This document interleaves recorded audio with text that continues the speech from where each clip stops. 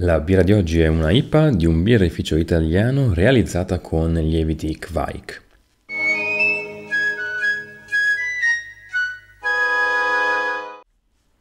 Vediamo subito la scheda tecnica di questa birra, scheda che non è stato eh, semplicissimo realizzare, soprattutto per reperire alcune informazioni. Il birrificio in questione è appunto eh, BB Beer, anche se questa lattina è prodotta da Mr. B, che è un altro birrificio di Mantova. Eh, su BBBeer appunto ho avuto difficoltà a reperire informazioni perché manca il sito internet nel 2020. La birra in questione si chiama Bo Kvaik IPA, Bo sta per Brew One It Kvaik IPA, lo stile è quindi una IPA, una IPA, grado alcolico di questa birra 6,3 gradi, il prezzo, non ricordo con esattezza, l'ho acquistata ad un beer shop nel milanese poco più di 3 euro, era questa lattina. Il bicchiere suggerito per questa IPA è una pinta e sì, si tratta di un primo assaggio. Allora, innanzitutto ho scelto di fare questo video con questa lattina per parlare finalmente degli lieviti Kvaik. È un argomento mh, mm, per me piuttosto nuovo che ho scoperto meno di un anno fa, credo, eh, frequentando un po' eh, diversi ambienti legati all'home brewing, dove ho scoperto che appunto è esplosa questa nuova, eh, questo nuovo interesse verso questi, questi lieviti. Innanzitutto facciamo una piccola introduzione. I lieviti Kvaik sono dei lieviti di origine norvegese, siamo nel nord Europa,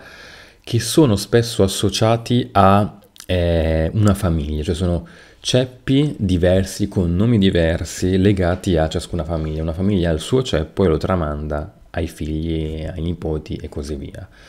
Eh, non è una specie vera e propria di lievito.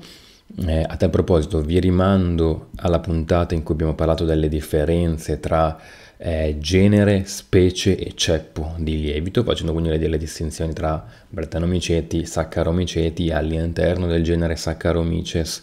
quali sono le diverse specie, Cerevisie, eh, Pastorianus, eccetera, e all'interno della diversa specie quali sono i diversi ceppi. Vi metto la scheda qui eh, così se vi va potete recuperare quella puntata. Quindi, come dicevo, non si tratta di una specie vera e propria di lievito, ma si tratta di un mix di diverse specie e di diversi ceppi di Saccharomyceti. Sono appunto familiari, quindi legati a un posto o una famiglia, perché appunto questo mix che è stato negli anni selezionato da questo ceppo eh, familiare viene poi tramandato, quindi sarà diverso dal mix di un'altra famiglia e così via. Le caratteristiche quindi che accomunano tutti questi diversi ceppi che poi in fermentazione hanno anche profili piuttosto differenti, comunque alcune delle caratteristiche che li accomunano sono innanzitutto eh, il fatto di lavorare ad alte temperature, che può sembrare strano e a me infatti sembrava molto strano che ceppi di lievito che lavorano ad alte temperature, ma stiamo parlando di 30-35, c'è un ceppo di cui non ricordo il nome che addirittura si è visto eh, riesce a lavorare fino a 43 gradi ed è un po' strano che questa cosa avvenga in Norvegia, infatti io la, trovavo un po' strana, poi leggendo un po' di informazioni, in particolare vi rimando a... Eh, c'è una bella serie di puntate su car brewing, il podcast appunto legato al, all'home in cui si parla di questi ceppi, una cosa che spiegava eh, Andrea, ragazzo che ha gestito queste puntate, era che uno dei motivi per cui si raggiungono temperature così alte è perché dopo la bollitura, quando la temperatura del mosto è ancora elevata, si fa l'inoculo di questi eh, kvaik e poi si tende a coprire proprio con una coperta fisicamente il eh, tino dove c'è il, eh, il fermentatore, diciamo, o il tino dove si fa fermentare comunque la birra per mantenere la temperatura alta. Altre caratteristiche comuni a tutti i Kvaik è anche la fermentazione piuttosto veloce, cioè in pochi giorni si riesce, da, si riesce già a completare tutta la fermentazione. Sempre per stare sulle caratteristiche che accomunano i diversi ceppi, cosa c'è da, da, dire? Beh, innanzitutto sono indicati come lieviti con una buona floculazione, il che aiuta ad avere anche birre pulite perché fa precipitare tutto il residuo eh, di lievito esausto e hanno anche una discreta tolleranza all'alcol indicando alcuni ceppi una resistenza fino a 14 gradi, quindi a 14 eh, parti di alcol su volume totale che per eh, certi lieviti non è affatto poco. Per quanto riguarda eh, la caratterizzazione che dà il lievito, beh qui dipende ovviamente eh, dal ceppo perché a quanto pare cambia molto da un ceppo con l'altro. Ultima caratteristica comune a questi lieviti Kvaik è anche il fatto che si possono conservare perfettamente per essiccazione. Cioè è possibile rimuovere proprio dalla parte superficiale del mosto eh, lo strato, diciamo, eh, di fermentazione attiva ed essiccarlo, proprio essiccarlo in forno e riuscire a ottenere così queste lamelle, comunque questa eh, parte di lievito essiccata che può essere conservata all'asciutto, ma conservata e poi riutilizzata, riattivata e riutilizzata per una fermentazione successiva. Da qui deriva proprio il fatto che il ceppo sia familiare, selezionato negli anni e tramandato in questo modo molto semplice di generazione in generazione. Se volete avere eh, informazioni più precise e più approfondite su ciò che riguarda i lieviti Kvaik ed eventualmente se vi interessa anche sperimentare eh, l'utilizzo nelle vostre esperienze casalingo brassicole per citare un famoso brewer. Eh, con questi lieviti Kvaik vi rimando al gruppo Facebook Esperienze Kvaik ITA dove sono eh, descritte alcuni tutorial su come utilizzarli, alcune guide e soprattutto potete fare tutte le domande che volete su questi lieviti che trovate gente eh, molto preparata che vi saprà dare indicazioni ben più precise di quello che possa fare io in pochi minuti di video adesso. Ricordo che eh, qualche mese fa ho avuto modo di parlare con un ragazzo norvegese in vacanza in Italia eh, che lavorava in un pub in Norvegia. Parlando gli ho chiesto ovviamente dei lieviti Kvaik e mi ha detto che Mm, ovviamente è una cosa più conosciuta e già da qualche anno molti eh, microbirrifici locali stanno sperimentando l'utilizzo diciamo un po' più su larga scala di questi lieviti. Mi ha confessato però che molto spesso è stato un c'è stato comunque un periodo un po' di moda in cui tantissimi produttori indicavano sulle proprie birre l'utilizzo di lieviti Kvaik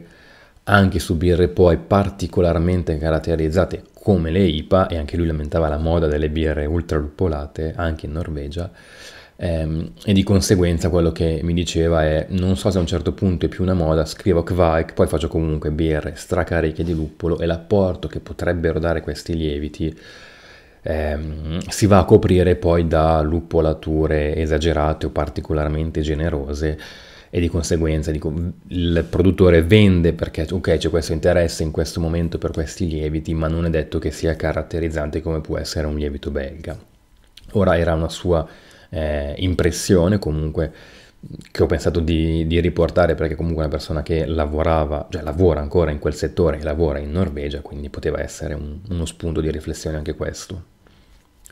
Tornando però sulla lattina che eh, vorrei degustare oggi, a proposito sulle differenze birre in, in, bottiglia di vetro, birre in lattina, ho dedicato un paio di puntate, vi rimando soprattutto quella eh, magari in cui ho degustato la Neipa di Crack, in cui c'è stata una mm, breve introduzione, ma secondo me abbastanza esaustiva sulle differenze vetro e alluminio. Comunque lattina, come vi dicevo, la lattina ha una singola etichetta unica il birrificio in questione è appunto BB Beer.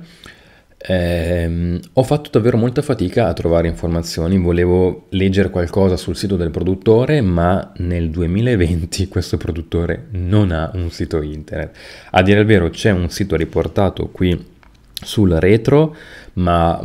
è scaduto il dominio, o comunque manca completamente il dominio, come non, non esiste sul, inserendo questo link nel browser eh, ma non esiste proprio il sito di questo produttore, eh, c'è solo una pagina Facebook. Questa cosa, unita al fatto che questa serie, come viene riportata sul retro, si chiama BOH Brew One It Series e eh, come viene scritto eh, è una serie dedicata a birre appunto fatte una sola volta e la frase che c'è sotto questo acronimo che è appunto BO è chissà cosa succederà questa volta facciamo una BO Qui mi viene spontanea una considerazione. Eh, birrifici molto piccoli che appunto cercano di giustamente sfruttare la moda del momento, l'interesse del momento verso questi lieviti e fare una birra, una IPA, guarda caso, eh, sta sempre per stare sulle mode delle birre luppolate con questi lieviti. Ma una birra che già si presenta come fatta un, una one shot, per così dire, di un birrificio che non ha nemmeno il tempo per fare un sito internet, quindi prendersi mezz'ora un giorno e realizzare un sito internet e dedicare magari una paginetta con una foto della birra che hai fatto e scrivere che cos'è,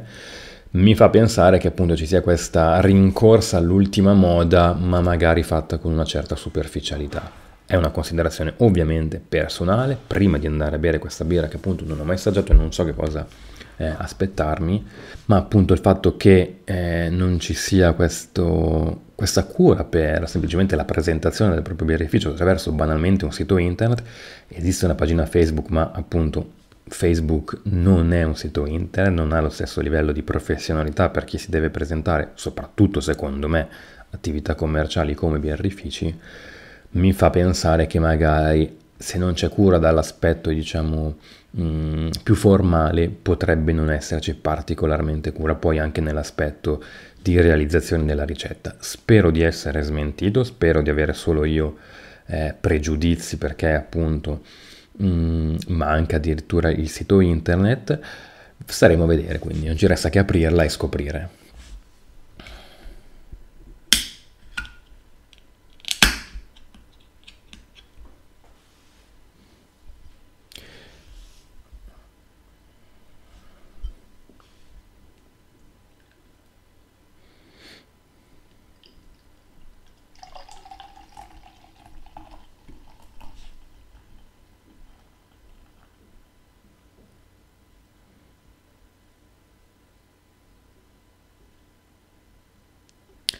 Allora, non avendo la bottiglia di vetro, ovviamente non riesco a vedere quando arrivo al eh, deposito che giustamente si forma in tutte le birre, non eh, ovviamente microfiltrate e pastorizzate. Infatti un pochino di lievito è caduto e si è depositato sul fondo. Tutto sommato la birra comunque resta piuttosto limpida. Il bicchiere non è pieno completamente perché questa è una latina da 33, mentre questa è una pinta inglese eh, questo è del birrificio eh, Robinson della birra che aveva fatto per gli Iron Maiden e quindi le pinte inglesi sono da 56.8 mentre appunto qua siamo sui 33 eh, centilitri. Passiamo quindi all'analisi visiva di questa birra. Partendo dalla schiuma la schiuma è abbastanza persistente perché l'ho versata appunto già da quasi un minuto poco più di un minuto ed è ancora piuttosto compatta, di un colore bianco, con una texture irregolare. Il colore della birra è un, eh, direi, giallo abbastanza eh, intenso, leggermente velata, paglierino abbastanza carico ma leggermente velato. Ma al naso è secondo me una IPA molto tradizionale con evidentemente luppoli americani. C'è principalmente una parte resinosa di luppoli e un leggero agrumato, quindi eh, senza sapere che tipo di ci sia, di luppoli ci siano all'interno, sicuramente posso pensare a luppoli americani. Ok, andiamo a vedere sul retro della lattina perché sono indicati effettivamente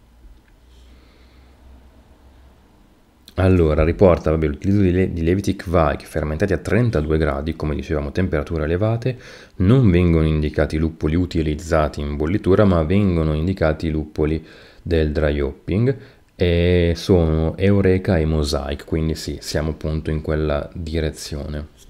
Luppoli americani con profumi appunto resinosi, fruttati, frutta tropicale, agrumi e così via. Vediamo quindi in bocca com'è. Anche in bocca più o meno ritroviamo quello che ci aspettavamo, un'apertura maltata, non eccessivamente dolce, è un bel finale amaricante, persistente, con gli stessi sapori. Eh, l'unica cosa che emerge sull'amaro finale c'è poi secondo me sul retrogusto una buona, buona, una discreta persistenza di frutta acerba, non saprei indicare esattamente cosa, ma appunto c'è questa persistenza di eh, amaro, quel tipo di amaro appunto legato a eh, probabilmente frutta acerba. C'è anche un leggerissimo, leggerissimo sul retrolfatto secondo me sentore di pane che è un po' strano forse su, sulle IPA, su questo tipo di birra, ma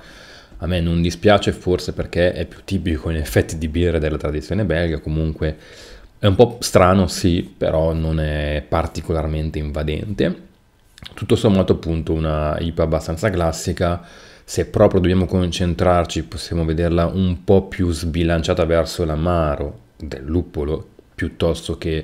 il, eh, il, l'inizio abboccato e dolce del malto, ma tutto sommato secondo me è una IPA molto standard. Come anticipato dal mio amico norvegese, effettivamente in questo caso secondo me l'apporto dei lieviti Kveik non si sente più di tanto, forse perché su birre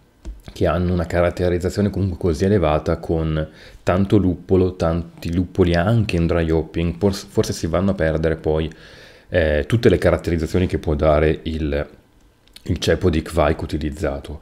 Eh, sarebbe appunto interessante assaggiare altre tipologie di birre, magari più delicate, per vedere quanto è l'apporto che può dare questi lieviti, perché in questo caso con luppolatore così generose, cioè l'intensità aromatica è davvero elevata di questa birra. Aprendola e versandola già mi arrivava tutta la parte resinosa del luppolo al naso, quindi insomma il luppolo va tanto, soprattutto in dry hopping va tanto a eh, coprire secondo me quello che potrebbe essere poi la caratterizzazione di questo lievito eh, particolare. Eh, infatti leggendo molte delle ricette fatte dagli homebrewer noto che quasi sempre si tratta di birre più delicate, pale ale, golden ale, eh, esperimenti anche su ricette da bassa fermentazione da lager ma fermentate con kvaik, quindi a temperature quasi triple rispetto a quelle per cui si fanno solitamente le pills o comunque delle basse fermentazioni. Insomma, cercare di avere eh, birre poco caratterizzate dal punto di vista delle materie prime, eccetto il lievito, per lasciare più spazio ovviamente al lievito di produrre tutti quei prodotti caratterizzanti che eh, sono tipici appunto di quel particolare ceppo di lievito e possono rendere magari più interessante eh, il, kva, il kvaik rispetto a altri lieviti. Questa appunto era la Kvaik IPA di BB Beer e eh, Mr. B. Skoll!